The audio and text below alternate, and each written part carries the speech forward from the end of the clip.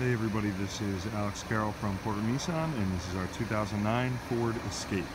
So we have a gray exterior, black leather interior.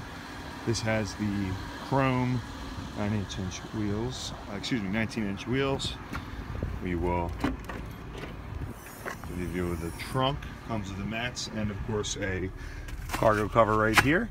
And these seats, as always, will fold all the way down. Give you a quick view of the back.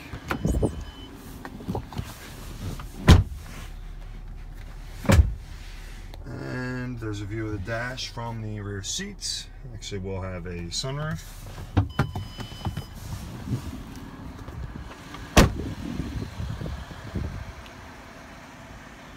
Full view from the side. And bring it up to the front seat where we have power driver seat, leather heated seats, option for heat down here.